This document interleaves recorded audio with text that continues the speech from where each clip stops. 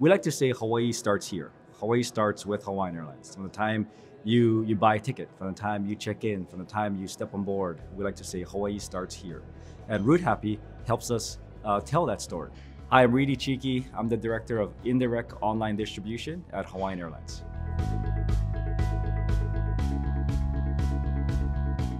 What sets us apart, I think, and what we like most important are the UPAs.